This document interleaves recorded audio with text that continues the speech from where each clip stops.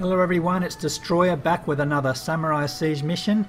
This is number two called Focus, Focus, Focus and you will unlock the Archer Tower.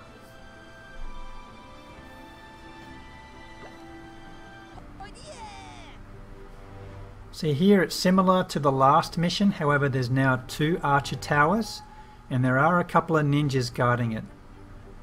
So I'm just going to use about 10 samurai on both uh, archer towers and that should be more than enough. You notice they do get attacked by the ninja so the samurais take the ninja down first then take down the tower.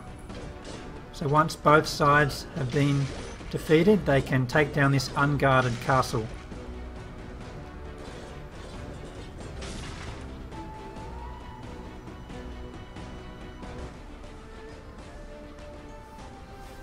So 2,500 of each resource one there. I used 20 level 1 samurai.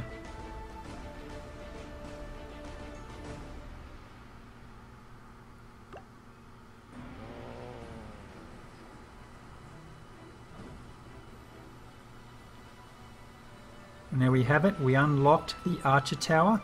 So you can now go back to your village and build that tower.